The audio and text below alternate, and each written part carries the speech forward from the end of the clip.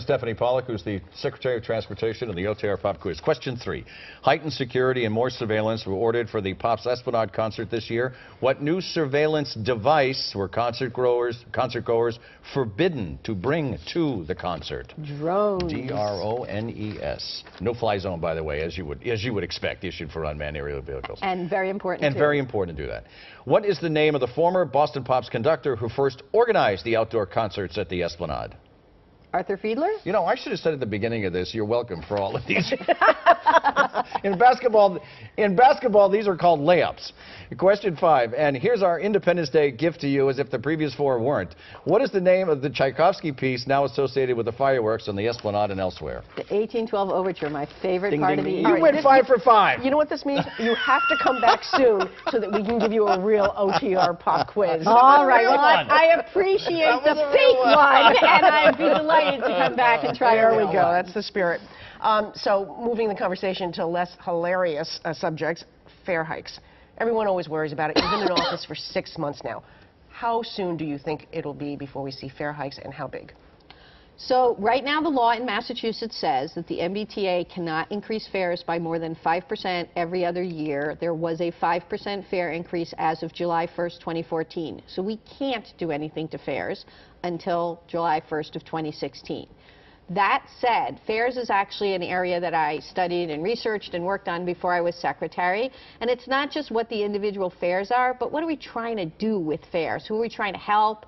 Who are we trying to get to pay? You know, and so the T is required to have a fare policy, and that hasn't been revisited in years. So I think what our plans are is let's revisit the policy. Let's have a public conversation about what our fare policy is trying to do.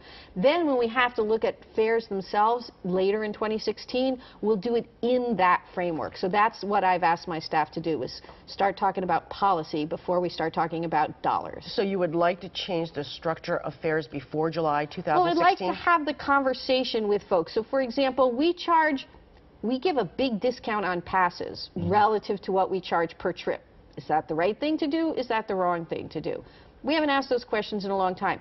Some of the commuter rail folks, if you're pretty far out on the commuter rail, between their parking costs and your monthly pass, it's hundreds and hundreds of dollars. We just have to have those mm-hmm. conversations. So you want to have this conversation well before July 2016, which is by right now, according to your regulations, the next time that you could raise fares. exactly. I, I, want, I wanted to, do you, do you listen to the radio? Have you listened to the radio ads by the Carmen's Union? I have heard them. So they, they, they start out patting, as you know, you, the administration on the back for the willingness to upgrade the system, but insisting privatizing their work is the wrong way to go. Do- do- are they effective to you? Do they, do they reach you?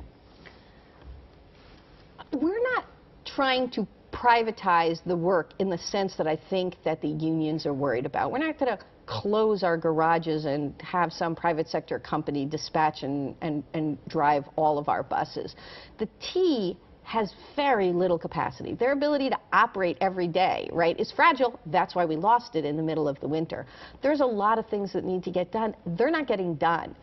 But the state law limits our ability to use private sector companies, many of which will be in Massachusetts, and employ Massachusetts workers to do things that literally the T's current workforce can't do. Give us two, one or two examples. So we have T-bus drivers driving 40-foot buses at 3 o'clock in the morning on Friday to provide late-night service with 15 people on a bus, 8 people on a bus, 6 people on a bus. I don't own a 14-seat van, right?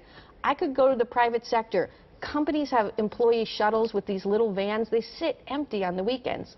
We could pay a lot less. We, we pay over $20 a trip to provide bus service late night on Friday and Saturday So are you night. saying the Carmen's Union is being a little paranoid? I think that there was a time in the past that the T was talking about privatization in the sense that they wanted to sort of wholesale turn the system over to the private sector. I'm assuming that that's what they're sort of reading into it. But, you know, the governor and I have said this clearly. This is not about taking jobs away from the existing workforce. This is about finding cost-effective ways to give riders the transit services they need and deserve. Stephanie Pollack, thank you for joining us. We greatly appreciate it. Great to have you in OTR this morning. Our thanks to the Transportation Secretary for making her first appearance. First of many, by the way. We're going to commit her to it right now here at OTR. And she smiled. That's good. They had Republican Donald Trump remains unbowed by his Latino rant. How's that playing on the street?